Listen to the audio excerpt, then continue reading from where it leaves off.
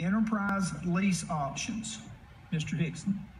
Thank you, Mr. Christian. I do have uh, something for us to consider. If, if you remember, uh, I discussed uh, probably close to several years ago, right after I came here, uh, that the county commission had entered an agreement with uh, a large uh, truck company um, to purchase solid waste trucks at government pricing. And then they use those a couple years and then turn the lease back in. And most times they are able to uh, submit that lease with an equity built up because of the low purchase price initially of those vehicles. And we have uh, been in consult with uh, uh Enterprise. Uh, you may know them as Enterprise Rent a Car, but they also have a fleet division. And they have very similar pricing for us for, for Hawkins County school vehicles. Uh, for example, ten to fifteen thousand dollar savings on the cost of a work truck for our maintenance uh, crew that we can use two to three years and sell back for more than what we purchased it initially for. So we have equity built in those vehicles. We can roll that equity into subsequent vehicle purchases and it uh, has no mileage limits or anything like that. So here to give us a little bit of detail before you uh, consider this uh, for action is Seth Roten from um, maintenance and uh, he'll attempt to answer any of your questions, give you an overview of the program. Cannon's also on Zoom. Got any further questions? Well, but uh, I'd sent out an email as well as a paper copy of what those pricing would be for the vehicles. Now, this would not only cover the maintenance, but it would also cover transportation and technology as well.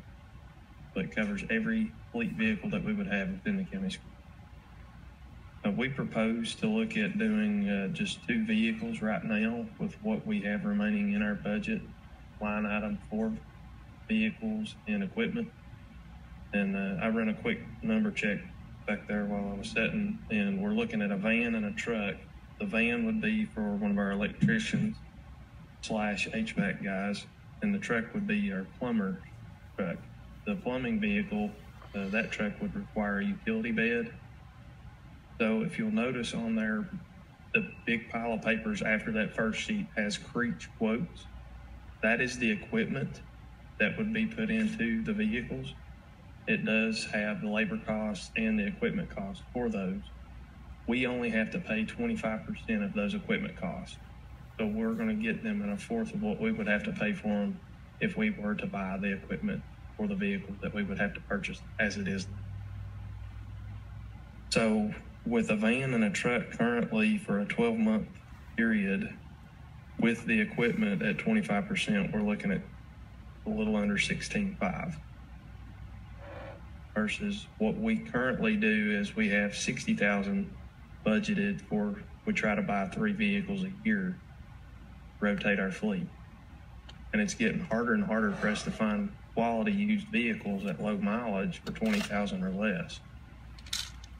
So that's why we're trying to look at something like this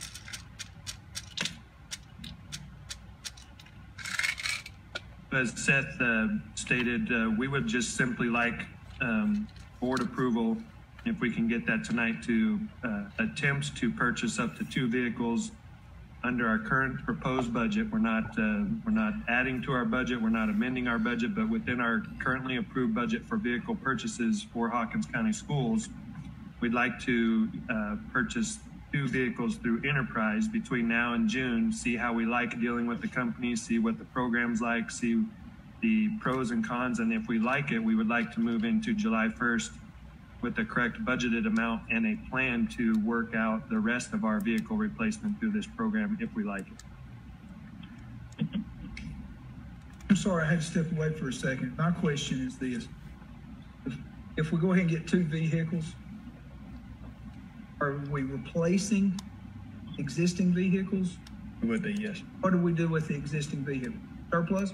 It would. They would be surplus just like they normally would be. Now, Enterprise has offered to sell those vehicles for us, but that would come at an, at an additional cost. And the vehicles that we're replacing have multiple hundreds of thousands of miles on them. So I would recommend we probably just go through the surplus process and get rid of those just like we would any other vehicle. Okay.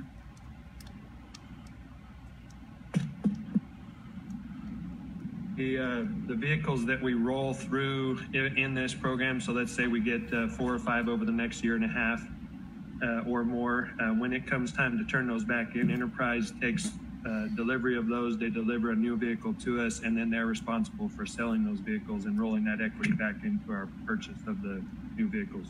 And there's unlimited mileage on these vehicles. No mile, uh, there's no mile uh, penalties of any kind. Well, each board member is going to get a car. It is one of those things that when you're when you sit down, we've had uh, I think five different presentations from this individual from Enterprise, and the first time I thought, nah, that's this is too good to be true. It's it's like that solid waste program that that the commission utilizes, but uh, it truly is the the government pricing at least right now makes a lot of sense to enter into this uh, this type of uh, program and ensure that our our staff are driving dependable vehicles that we're not putting a lot of maintenance dollars in. The Creech Group is just like a third party that Enterprise. It's basically, yeah, a third party for them, for the equipment.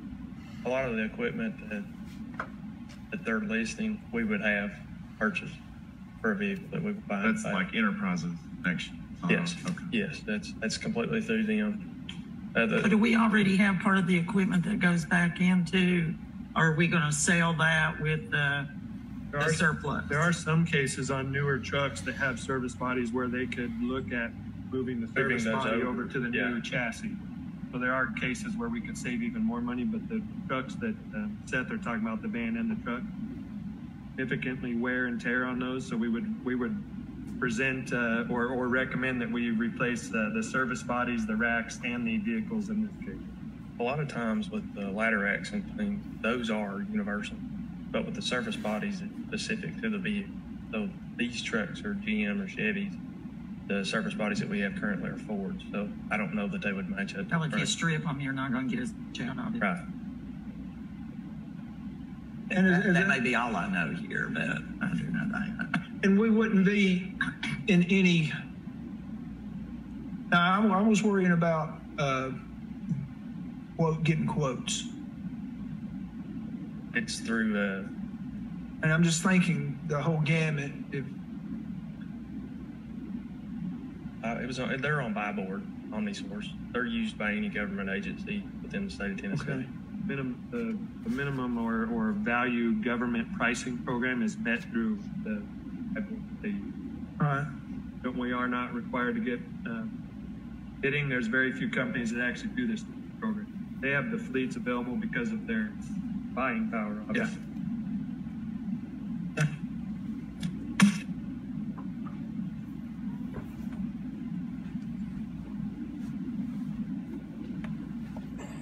Is uh, anyone entertain making a motion for approval, or would the board rather delay or take no action? Mr. Chairman, I'd like to make that motion to approve uh, going forward uh, for a trial basis with the first two vehicles with Enterprise. I'll Okay, we have a second. motion. And we I'll have a second. We, we got you. Thank you. So is there any further discussion? If not, Ms. Jennifer, call the roll, please. Boyd, Yes. Charles, Yes. Christian, Yes. Craddock, Yes. Hicks, Yeah. Eden, Yes. Grant. Yes. Okay.